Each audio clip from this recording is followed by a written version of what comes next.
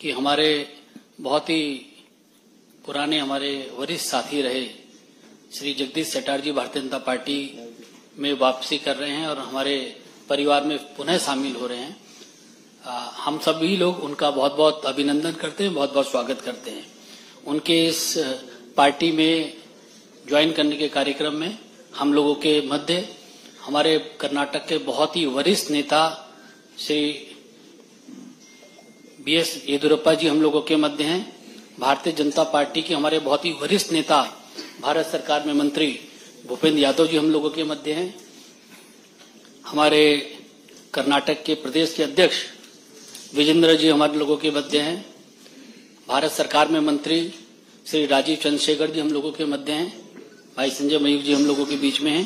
सर्वप्रथम मैं सभी मंचासीन अतिथियों से आग्रह करता हूँ कि श्री जगदीश सेठार जी को भारतीय जनता पार्टी की सदस्यता की पर्ची और उनका पटका पहना के स्वागत करें।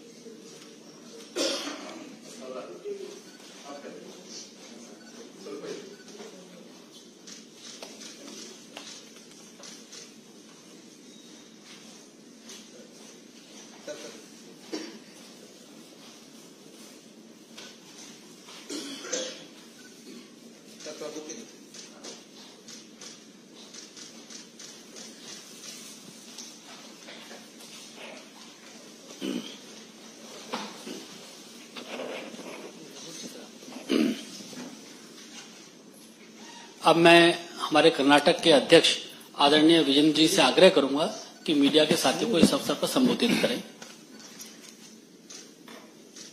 ಎಲ್ಲರಿಗೂ ನಮಸ್ಕಾರ ಕರ್ನಾಟಕ ರಾಜ್ಯದ ರಾಜಕೀಯ ದೊಡ್ಡ ಬೆಳವಣಿಗೆ ಇವತ್ತು ಆಗಿರ್ತ ಆಗಿದೆ ಹಿರಿಯರಾಗಿರ್ತಕ್ಕಂಥ ಮಾಜಿ ಮುಖ್ಯಮಂತ್ರಿಗಳು ಸನ್ಮಾನ್ಯ ಶ್ರೀ ಜಗದೀಶ್ ಶೆಟ್ಟರ್ಜಿ ಅವರು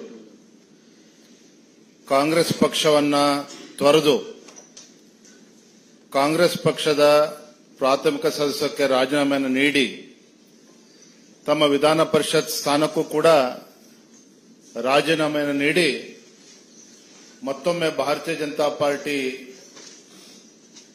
ಸೇರ್ಪಡೆ ಆಗಿರ್ತಕ್ಕಂಥದ್ದು.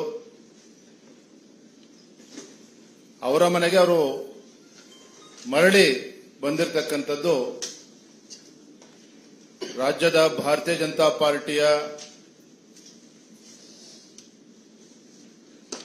ಬೆಳವಣಿಗೆ ದೃಷ್ಟಿಯಲ್ಲಿ ಒಂದು ದೊಡ್ಡ ಶಕ್ತಿ ಬಂದಂತಾಗಿದೆ. ರಾಜ್ಯದ ನಮ್ಮೆಲ್ಲ ಪಕ್ಷದ ಹಿರಿಯರು ಮತ್ತು ಕಾರ್ಯಕರ್ತರ ಅಪೇಕ್ಷೆನೂ ಕೂಡ ಇತ್ತು. ಜಗದೀಶ್ ಶೆಟ್ಟರು ಹಿರಿಯರಿದ್ದಾರೆ ಅವನು ವಾಪಸ್ಸು ಬಿಜೆಪಿ ಕರ್ತರಬೇಕು. ಅದರಿಂದ ಪಕ್ಷಕ್ಕೂ ಕೂಡ ಲಾಭ ಆಗ್ತದೆ ಅನ್ನೋ ಒಂದು ವಿಚಾರಗಳು ಹಲವಾರು ದಿನಗಳಿಂದ ಚರ್ಚೆ ಆಗಿತ್ತು. ಇವತ್ತು ಬೆಳಗ್ಗೆ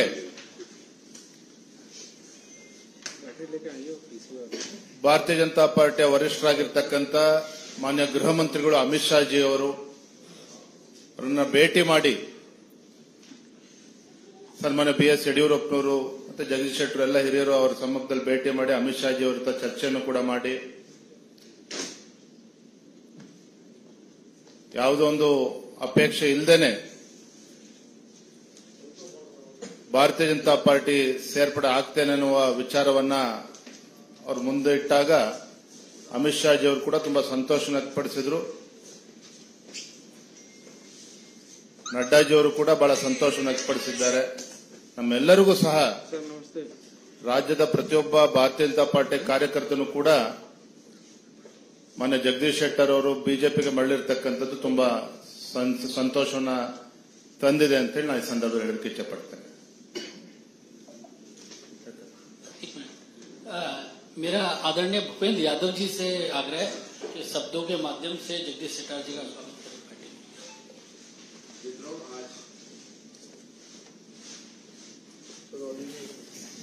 मित्रों आज ये एक शुभ समाचार है कि हमारे कर्नाटक में श्री जगदीश शेट्टर जी, कांग्रेस के एमएलसी पद को छोड़ करके पुनः भारतीय जनता पार्टी में शामिल हो रहे हैं। जैसा कि हमारे कर्नाटक के पार्टी के प्रदेश अध्यक्ष श्री विजेंद्र जी आपको बता रहे थे कि श्री जगदीश शेट्टर जी का पार्टी में हम सब पुनः स्वागत करते हैं। और जगदीश शेट्टर जी का भी कहना था कि ये जिस प्रकार से उन्होंने पार्टी को एक बार छोड़ा, लेकिन उनको ध्यान में आया कि एक लंबे समय तक जिस पार्टी में उन्होंने प्रदेश अध्यक्ष से लेकर स्पीकर और मुख्यमंत्री तक विभिन्न पदों पर कार्य किया, पार्टी देश के विकास को लेकर, देश में रामराज की स्थापना को लेकर, निरंतर जिस भारत की विकास यात्रा को माननीय प्रधानमंत्री जी के नेतृत्व में आगे बढ़ा रही है, उसको वो पुनः ज्वाइन करना चाहते थे। पार्टी के हमारे शीर्ष नेतृत्व ने भी स्वीकृति प्रदान करी और आज हम पुनः जगदीश शेट्टर जी का भारतीय जनता पार्टी में स्वागत करते हैं।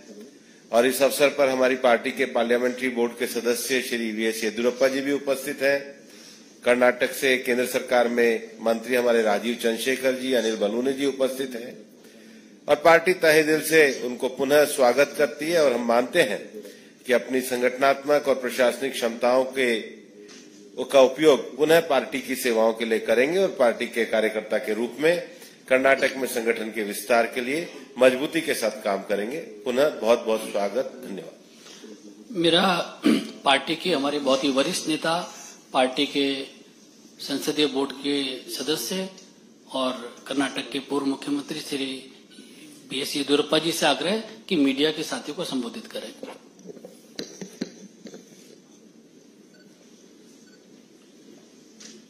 जगदीश शेट्रो हिंदे। ಮುಖ್ಯಮಂತ್ರಿಯಾಗಿ ಪಕ್ಷದ ಅನೇಕ ಜವಾಬ್ದಾರಿಗಳನ್ನು ವಹಿಸಿಕೊಂಡು ದುಡಿದಂತ ಒಬ್ಬ ಹಿರಿಯ ವ್ಯಕ್ತಿ. ನಮ್ಮೆಲ್ಲ ಕಾರ್ಯಕರ್ತರ ಅಪೇಕ್ಷೆ ಇತ್ತು ಅವರು ವಾಪಸ್ ಬಿಜೆಪಿಗೆ ಬರಬೇಕು ಅಂತ ಹೇಳಿ. ಅದಕ್ಕಾಗಿ ಬೆಳಿಗ್ಗೆ ಗೃಹ ಸಚಿವ ಅಮಿತ್ ಶಾ ಜಿಯವ್ರನ್ನ ನಾನು, ಜಗದೀಶ್ ಶೆಟ್ಟರು, ವಿಜಯೇಂದ್ರ ಎಲ್ಲರೂ ಭೇಟಿ ಮಾಡಿ ಅವರು ಸಹ ಬಹಳ ಸಂತೋಷದಿಂದ ಅವರನ್ನು ಬಿಜೆಪಿಗೆ ಸ್ವಾಗತ ಮಾಡಿ ಬರಬೇಕು ಅಂತ ಹೇಳಿದ್ರು. ಅದರಂತೆಯೇ ಇವತ್ತು ಬಿಜೆಪಿಗೆ ಸೇರಿದ್ದಾರೆ. ನಮ್ಮ ರಾಷ್ಟ್ರೀಯ ಅಧ್ಯಕ್ಷ ನಡ್ಡಾಜಿಯವರನ್ನು ಸಹ ಈಗ ನಾವು ಭೇಟಿ ಮಾಡ್ತಾ ಇದ್ದೇವೆ. ಬಹುಶಃ ಜಗದೀಶ್ ಶೆಟ್ಟರು ಬಿಜೆಪಿಗೆ ಸೇರಿದ್ರಿಂದ ದೊಡ್ಡ ಶಕ್ತಿ ಬಂದಂತಾಗಿದೆ. ಮುಂದಿನ ಲೋಕಸಭಾ ಇಪ್ಪತ್ತೆಂಟರಲ್ಲಿ ಇಪ್ಪತ್ತೈದಕ್ಕೂ ಹೆಚ್ಚು ಲೋಕಸಭಾ ಕ್ಷೇತ್ರಕ್ಕೆ ಇರೋದಕ್ಕೂ ಸಹ ನಮಗೆ ಹೆಚ್ಚು ಸಹಕಾರಿಯಾಗುತ್ತೆ ಅನ್ನೋ ಮಾತನ್ನು ಹೇಳ್ತಾ ಮತ್ತೊಮ್ಮೆ ಭಾರತೀಯ ಜನತಾ ಪಾರ್ಟಿಗೆ ಮಾನ್ಯ ಜಗದೀಶ್ ಶೆಟ್ಟರ್ನ ಸ್ವಾಗತ ಮಾಡುತ್ತೇನೆ. ಧನ್ಯವಾದಗಳು. ನಮಸ್ಕಾರ. मेरा आदरणीय जगदीश शेट्टर जी से आग्रह है कि मीडिया के साथियों को संबोधित करें ಭಾರತೀಯ ಜನತಾ ಪಾರ್ಟಿಯ ರಾಷ್ಟ್ರೀಯ ನಾಯಕರಾದಂಥ ಭೂಪೇಂದ್ರ ಯಾದವ್ಜಿಯವರೇ ಭಾರತೀಯ ಜನತಾ ಪಾರ್ಟಿಯ ಹಿರಿಯ ನಾಯಕರಾದಂಥ ಮತ್ತು ಮಾಜಿ ಮುಖ್ಯಮಂತ್ರಿಗಳು ನಮ್ಮೆಲ್ಲರ ನಾಯಕರಾದಂಥ ಮಾನ್ಯ ಬಿ ಎಸ್ ಯಡಿಯೂರಪ್ಪನವರೇ ಕರ್ನಾಟಕ ರಾಜ್ಯದ ಬಿಜೆಪಿ ಅಧ್ಯಕ್ಷರಂತ, ಆತ್ಮೀಯರಂತ ಬಿ ವೈ ವಿಜೇಂದ್ರ ಅವರೇ, ಇನ್ನೊಬ್ಬ ಬಿಜೆಪಿ ಮುಖಂಡರು, ಕೇಂದ್ರ ಸಚಿವರಂತ ರಾಜೀವ್ ಚಂದ್ರಶೇಖರ್ ಅವರೇ, ಆತ್ಮೀಯ ಮಾಧ್ಯಮದ ಮಿತ್ರರೇ. ಇವತ್ತು ಬಹಳ ಒಂದು ಸಂತೋಷದ ಸಂಗತಿ. ನಾನು ಕಳೆದ ಅಸೆಂಬ್ಲಿ ಚುನಾವಣೆಯಲ್ಲಿ ಭಾರತೀಯ ಜನತಾ ಪಾರ್ಟಿಯನ್ನು ಇದು ರಾಜೀನಾಮೆ ಕೊಟ್ಟು ಕಾಂಗ್ರೆಸ್ ಪಾರ್ಟಿ ಜಾಯ್ನ್ ಆದಂತಹ ಸಂದರ್ಭದಲ್ಲಿ ಅಲ್ಲಿಂದ ಇಲ್ಲಿವರೆಗೆ ಕಳೆದ ಎಂಟು ಒಂಬತ್ತು ತಿಂಗಳಿಂದ ಕರ್ನಾಟಕದ ರಾಜ್ಯದ ಭಾರತೀಯ ಜನತಾ ಪಾರ್ಟಿ ಕಾರ್ಯಕರ್ತರಿರ್ಬೋದು ರಾಜ್ಯದಲ್ಲಿರುವಂತಹ ಶಾಸಕರು, ಮಾಜಿ ಶಾಸಕರು ಮತ್ತು ಇನ್ನಿತರ ಮುಖಂಡರು ಮತ್ತು ನಮ್ಮ ರಾಜ್ಯದ ನಾಯಕರುಗಳು, ಎಲ್ಲರ ಒಂದು ಅಪೇಕ್ಷೆ ಇತ್ತು, ಭಾರತೀಯ ಜನತಾ ಪಾರ್ಟಿಗೆ ನೀವು ಮರಳಿ ಬರಬೇಕು ಅನ್ನುವಂಥದ್ದು ಮತ್ತು ರಾಷ್ಟ್ರೀಯ ನಾಯಕರು ಸಹಿತ ಇವತ್ತು ಬರಬೇಕನ್ನುವಂಥ ಒಂದು ಆಶಯಗಳನ್ನು ವ್ಯಕ್ತಪಡಿಸಿದಾಗ ಇವತ್ತು ಬೆಳಿಗ್ಗೆ ಮಾನ್ಯ ನಮ್ಮ ಗೃಹ ಸಚಿವರು ಮತ್ತು ಭಾರತೀಯ ಜನತಾ ಪಾರ್ಟಿಯ ಹಿರಿಯ ನಾಯಕರು, ಹಿಂದಿನ ಅಧ್ಯಕ್ಷ ಅಂತ ಅಮಿತ್ ಶಾ ಅವ್ರನ್ನ ನಾವು ಇವತ್ತು ಬೆಳಿಗ್ಗೆ ಭೇಟಿಯಾಗಿದ್ವಿ. ಬಹಳ ಒಂದು ಅತ್ಯಂತ ಗೌರವದಿಂದ, ಒಂದು ಹೆಚ್ಚಿನ ರೀತಿಯಾದ ಪ್ರೀತಿ ವಿಶ್ವಾಸದಿಂದ ಅವರು ನಮ್ಮನ್ನು ಬರಮಾಡಿಕೊಂಡ್ರು. ಮತ್ತು ಅದೇ ರೀತಿ ಈಗ ನಮ್ಮ ರಾಷ್ಟ್ರೀಯ ಅಧ್ಯಕ್ಷಂತ ನಡ್ಡಾಜಿಯವರನ್ನು ಈಗ ಭೇಟಿ ಆಗ್ತೇವೆ. ಮತ್ತು ಈಗಾಗಲೇ ನಾನು ಭಾರತೀಯ ಜನತಾ ಪಾರ್ಟಿಗೆ ಮತ್ತೆ ಪುನರ್ ಇವತ್ತು ಇಲ್ಲಿ ಸೇರ್ಪಡೆ ಆಗ್ತಾ ಇರುವುದು ನನಗೆ ಒಂದು ಸಂತೋಷದ ಸಂಗತಿ. ಮತ್ತು ಬಹಳ ಮುಖ್ಯವಾಗಿ ನಾನೇನು ವಿಧಾನ ಪರಿಷತ್ತಿನ ಸದಸ್ಯನಾಗಿ ಕೆಲಸ ಮಾಡ್ತಾ ಇದ್ದೇನೆ. ಅದು ಕಾಂಗ್ರೆಸ್ ಪಕ್ಷದ ವಿಧಾನ ಪರಿಷತ್ತಿನ ಸದಸ್ಯನಾಗಿ ಕೆಲಸ ಮಾಡ್ತಾ ಇದ್ದೇನೆ. ಆ ಹಿನ್ನೆಲೆಯಲ್ಲಿ ಕರ್ನಾಟಕದ ವಿಧಾನ ಪರಿಷತ್ತಿನ ಸಭಾಪತಿಗಳಂತ ಮಾನ್ಯ ಬಸವರಾಜ ಹೊರಟ್ಟಿ ಅವರಿಗೂ ನಾನು ಫೋನ್ನಲ್ಲಿ ಮಾತಾಡಿದ್ದೇನೆ. ಮತ್ತು ಈಗಾಗಲೇ ಇಮೇಲ್ ಮುಖಾಂತರ ಸದಸ್ಯತ್ವಕ್ಕೆ ನಾನು ಈಗಾಗಲೇ ರಾಜೀನಾಮೆಯನ್ನು ಕೊಟ್ಟಿದ್ದೇನೆ ಮತ್ತು ಆ ರಾಜೀನಾಮೆ ಎಕ್ಸೆಪ್ಟ್ ಮಾಡಬೇಕಂತೇಳಿ ನಾನು ಮಾನ್ಯ ಸಭಾಪತಿ ಹೊರಟ್ಟಿ ಅವರನ್ನ ವಿನಂತಿ ಮಾಡಿಕೊಂಡಿದ್ದೇನೆ. ಅದೇ ರೀತಿ ಕರ್ನಾಟಕದ ರಾಷ್ಟ್ರೀಯ ಕಾಂಗ್ರೆಸ್ ಪಾರ್ಟಿಯ ಅಧ್ಯಕ್ಷರಂತ ಡಿ ಕೆ ಶಿವಕುಮಾರ್ ಅವರಿಗೂ ಸಹಿತ ಕಾಂಗ್ರೆಸ್ ಪಕ್ಷದ ಪ್ರಾಥಮಿಕ ಸದಸ್ಯತ್ವಕ್ಕೆ ರಾಜೀನಾಮೆ ಕೊಟ್ಟಿದ್ದನ್ನು ಇಮೇಲ್ ಮೇಲೆ ಅವ್ರಿಗೆ ಕಳಿಸಿದ್ದೇನೆ. ಮತ್ತು ಅಲ್ಲಿ ಸ್ವತಃ ಕಳಿಸುವಂತ ವ್ಯವಸ್ಥೆ ನಾನು ಮಾಡ್ತಾ ಇದ್ದೇನೆ.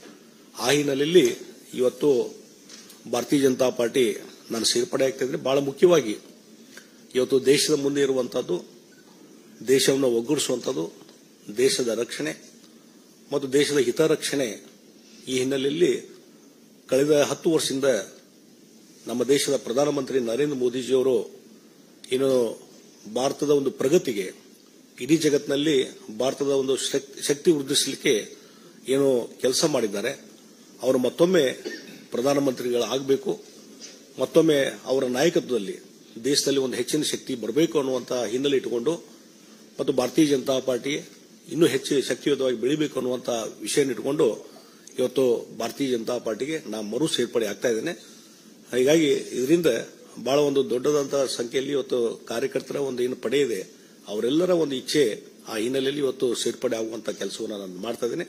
ಮತ್ತು ಪಕ್ಷಕ್ಕೆ ನಿಷ್ಠವಾಗಿ ಕೆಲಸವನ್ನು ಮುಂದುವರಿಸ್ತೀನಿ ಅನ್ನುವಂಥ ಮಾತನ್ನ ಈ ಸಂದರ್ಭದಲ್ಲಿ ನಾನು ಹೇಳ ಬಯಸ್ತಾ ಇದ್ದೇನೆ. ಮತ್ತು regarding I am rejoining the Bharatiya Janata party. And Bharatiya Janata party earlier has given lot of responsibility on me, and because of some uh, some other issues, I went to the National Congress Party, and uh, one thing after uh, that event, last uh, eight nine months, there is a lot of uh, discussion in the Bharatiya Janata Party. Even uh, Karnataka BJP leaders and workers from the ground level, everybody in so many occasions when they, they were me, meeting me in Karnataka, everybody asking, you come back to the BJP, you come back to the BJP.